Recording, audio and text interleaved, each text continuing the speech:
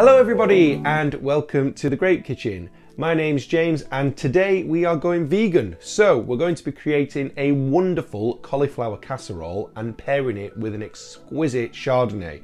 So, watch this space and let's get cracking. We're going to start, as always, with the ingredients. So, we're going to be turning this into this, and we're going to be pairing it with this. Now, this is a lovely, simple Chardonnay from the Western Cape in South Africa.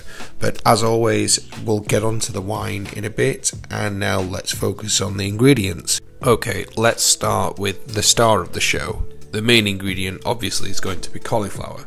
Now, we're also going to be making a crumb to go on top, and that's going to be made out of breadcrumbs and pine nuts and we'll also be making a sauce which is made of potato, shallots, almond milk, apple cider vinegar, cashew nuts, garlic, and a squeeze of lemon.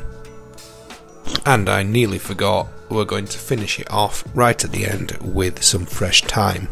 So firstly, we're going to need to do some preparations for the sauce. So take your potatoes and your shallots, peel them, chop them, and stick them in a pan on boil. Now we're going to quickly make the crumb. So it's dead simple. You just need your pine nuts and your breadcrumbs. Put them in a blender and pulse them for a bit until they're mashed together. So let's turn our attention back to the sauce. Uh, the potatoes and the shallots should be done by now, so take them out of the pan and then add all the sauce ingredients to a blender and blend them up. Right, so time for the main ingredient. Take the cauliflower, slice it up into thick slices, and layer it in a roasting dish with some of the crumb sprinkled on top. Then add the sauce and then add the rest of the crumb and garnish with thyme. So put this in the oven for about 40 minutes and get yourself a drink.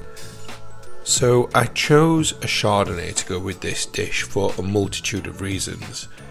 This dish, despite not having any actual cream in it, is rather creamy because of the almond milk, the potato, the cashew nuts.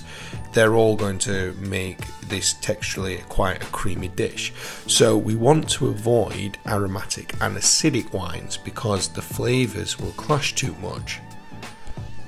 Most Chardonnays undergo something called malolactic fermentation, which gives it a more creamy texture and lowers acidity levels, so it's the perfect grape for this dish. I've chosen this, it's a simple but lovely Chardonnay from Arabella Wines based in South Africa's Western Cape. So, as always, here's me being a pretentious wanker, but in all seriousness, this was a lovely, simple Chardonnay with aromas of green apple and notably pear.